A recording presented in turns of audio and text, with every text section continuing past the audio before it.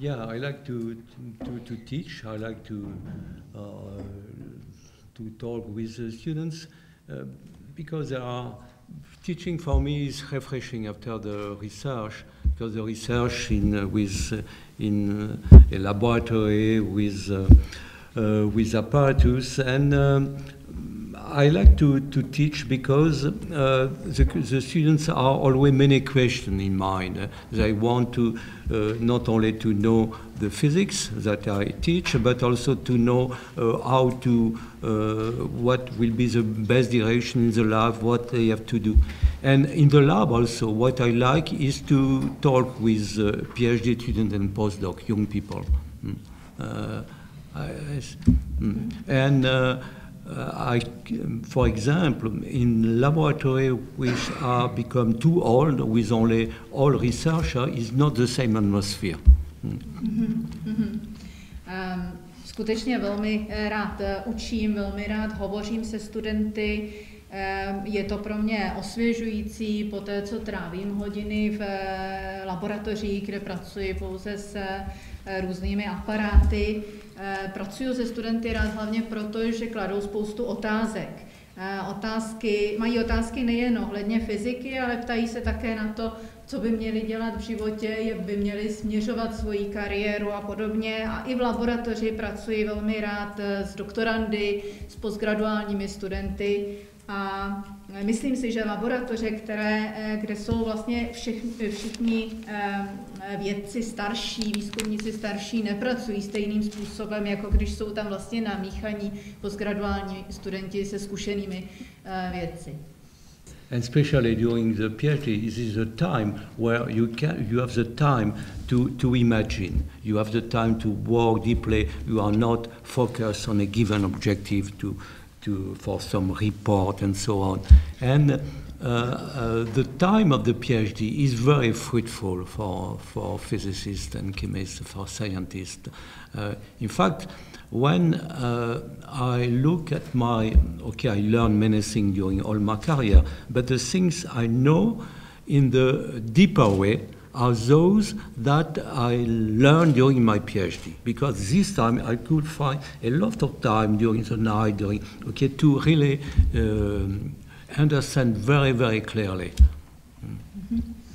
Uh, myslím, že uh, ten čas, kdyby se člověk měl uh, vlastně zaměřit na tu svoji představivost, je právě do, doba, kdy člověk pracuje na PhD, kdy eh, vlastně je možné pracovat velmi hluboce na jednotlivých eh, tématech a není potřeba se velmi hustě zaměřovat na nějaký cíl a na nějaké připravení nějaké zprávy a podobně. Takže myslím si, že to období postgraduálního studia, studia PhD je velmi plodné pro každého vědce, a já jsem se naučil samozřejmě spoustu věcí o materiálech v té době a musím říct, že věci, které dnes znám hlouběji, jsou právě ty věci, kterým jsem se věnoval během svého studia PhD. Today, because I have not enough time, sometimes I can be satisfied by only a superficial understanding. Mm-hmm. Dnes, protože eh, často nemám tolik času, tak se spokojím i s poměrně povrchním eh, chápáním něčeho. Moje otázka bude krátká. Eh, pan profesor na přednášce řekl, že přestanou se spintronikou platit Mooreovy zákony, jestli to může být, že specifikovat. you mentioned during the lecture that uh, Moore's laws will stop applying with spintronics. What? Moore's, Moore's, Moore's law. Moore's law, yeah. Yeah, this is the physical limits of uh, this, uh, the CMOS technology. Uh, it's well known. To je fyzikální hranice uh, CMOS technologie, to, hmm. to je známo. Hmm. Můj Mežáček, univerzitní televize, zítra to bude 640 let, co zemřel jeden z nositelů, ze dvou nositelů českých, československých Nobelovy ceny profesor Ejrovský, do jaké míry dnešní věda výzkum na úrovni Nobelovy ceny je jenom velká ekonomika USA, Japonsko, Francie, anebo může i Česká republika vygenerovat novou cenu? Um, tomorrow it will be 46 years when one of the two Nobel Prize uh, winners of the Czech Republic, uh, Czech Republic Professor Hayrovsky, died. Um, do you think uh, that these days Nobel Prizes may be awarded only to, to scientists from large economies such as uh, the United States, Japan, or France? Or is there some space for uh, can smaller economies, smaller countries generate excellent scientists as well? Yes, I, I, I see good scientists uh, in many many countries. Uh, okay, so it's not a okay. So the, there will be there will be a Nobel Prize in, in many countries. One of the problems is the technology. Sometimes the technology are so expensive that a very small country cannot uh, find the funding. But uh, it's not the case for your country. Um, určitě uh, budou no, nositelé Nobelovy ceny z různých zemí i z těch menších zemí. Někdy se říká, že problémem je technologie, která je nesmírně eh, nákladná a velmi malé země mohou mít problémy s pořízením té technologie, která vlastně umožňuje ty eh, objevy, ale to není případ vaší země. Já bych tomu dal jednu věc. Víte, ono dneska často slyšíme kritiku, která padá na hlavu Evropské unie. Ale když se na to podívám z pohledu univerzit, výzkumu, tak si myslím, že to je to nejlepší, co dneska tady jsme kdy měli. A já si myslím, že bychom to měli využívat a nejen prostě se snažit prostě, jak si se navléci na tu notu některých politiků a kritizovat věci, když nefungují. Ale není mi v základech spintroniky mi není jasná jedna věc. Pan profesor Fert zmiňoval eh, čistý spinový proud bez eh, nedoprovázený jakýmkoliv elektrickým proudem. Mě by zajímalo, jestli ten čistý proud je termodynamický tok nebo ne. Yes, um, controlled by the law of thermodynamics and statistical mechanics.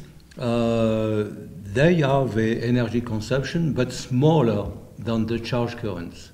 Uh, uh, and uh, also, you to to change the, the the information to flip the spins one needs less energy than to change the uh, intensity, the, the, uh, the, the density of current.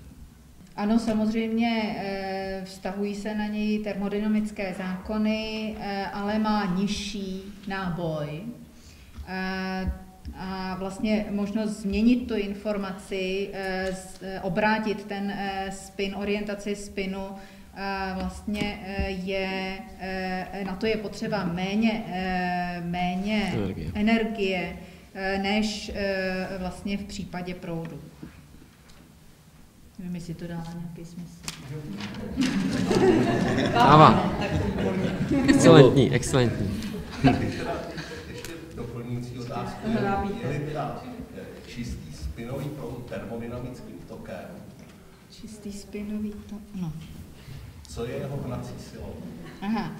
Uh, the, the pure spin current with, uh, if it is a thermodynamic flow, uh, co je jeho? Hnací silou. What is yeah. the, um, the driving, uh, driving flow the dynamic uh, force behind it? Ah, there is a, a gradient of uh, spin density. A gradient of spin density. Uh, the electric field, which is a gradient of uh, uh, electrical potential is replaced by a, um, a gradient of uh, spin density that is a gradient of chemical potential. Otázku na vás, pane Vondráku. Časopise se často setkávám s brečením firm, že není dostatek kvalitních techniků. To můžete to je první otázka. A druhá otázka, Eh, jestli se nějakým způsobem podílíte na výzkumu a vývoji třeba pro společnost Honeywell, co by třeba přineslo něco konkrétnějšího, jako, nebo jsou to konkrétní úkoly, které jako prostě řeší vaše fakulta? Já bych k tomu prvnímu. Zcela určitě se projevuje nedostatek zájmu o studium technických oborů a z toho vyplývá i to, že nám chybí to, o co nám jde nejvíc, o kvalitní studenty. Jako není asi problém naplnit lavice studenty, ale samozřejmě ubývá těch, kteří jsou skutečně připraveni na studium technických oborů, které jsou náročné, tak už to tady zaznělo, prostě bez matematiky, fyziky se neobejdou a samozřejmě pokud ten talent tam není, tak se špatně, špatně hledá. Čili jinými slovy řečeno, zcela určitě si toto uvědomujeme. Zatím marně hledáme nějaké cesty eh, takové, že by se to podařilo podpořit na systematické úrovni, to znamená, nebo systémové úrovni třeba z hlediska ministerstva školství. Zatím všichni a všechny univerzity dostávají stejné limity, není tady žádná preference technických oborů. Tyto věci zatím, řekněme, dřímají a marně se hledají cesty, jak z toho ven. Nicméně, eh, bylo by smutné se vymlouvat na to, že něco nefunguje a nic pro to neudělat.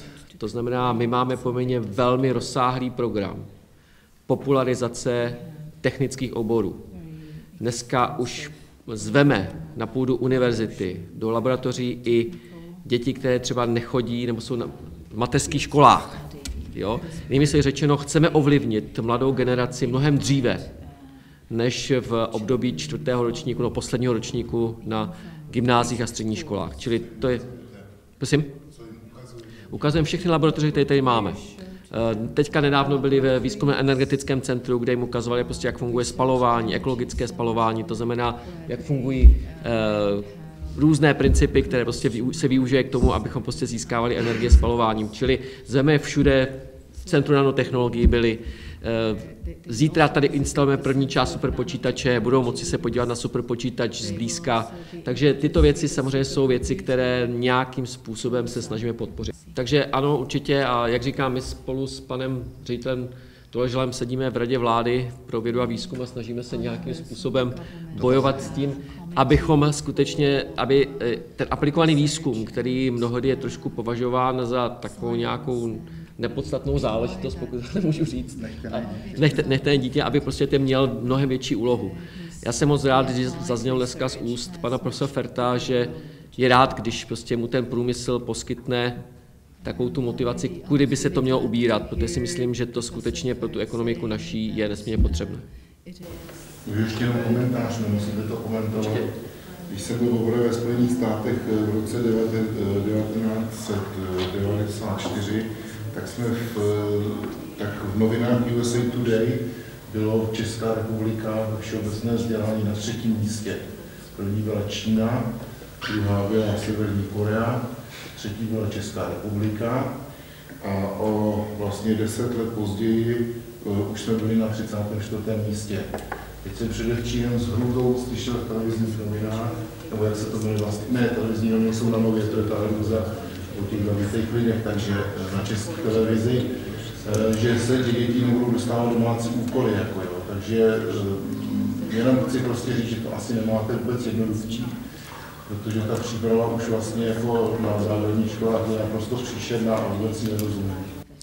Jako já mohu, já to můžu komentovat také, jako jsme z toho trošku nešťastní, protože samozřejmě čím nižší je úroveň znalostí těch, kdo tam nastupují, tak tím více energie ztrácíme na tom, že musíme tyto věci doučit. E, nicméně, jak říkám, pořád stojí za to se věnovat tomu, že tady pořádáme Eh, budeme chtít pořád matematickou olympiádu, pořádáme v podstatě různé kurzy pro talentované studenty z těch středních škol, abychom v podstatě je přitáhli a nabídli jim to, co na těch středních školách nemají, to znamená tu laboratorní techniku, kterou dneska tady, tady prostě máme k dispozici. Eh, já jsem zastáncem a jsou to zastáncem, bych řekl, všichni rektoři technických vysokých škol a nejen těch, že v podstatě dneska by měla být maturita z matematiky povinná.